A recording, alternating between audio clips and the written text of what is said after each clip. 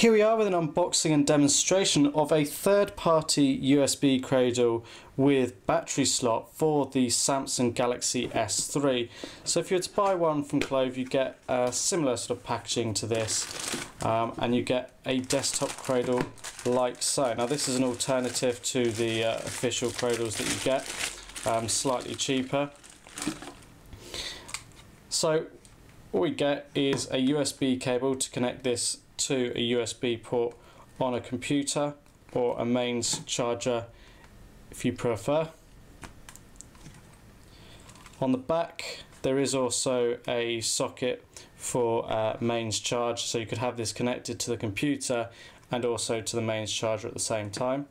On the bottom we've got little rubber feet to keep it secure on a desktop and then we have the battery charging slot itself and then we've got the cradle for the phone.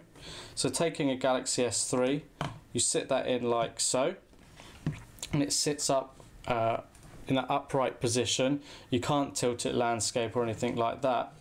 And this is where you'd put a second battery if you wanted. So you need to connect it to the mains power to actually charge the battery. If you don't have it connected to any power source, then it's not going to charge. You can just simply sit it in here. We've got this little piece that sort of sits in here to help uh, remove the battery. You'll also notice there's a little LED indicator light. Now this is sort of finished uh, with a high gloss um, silver plastic.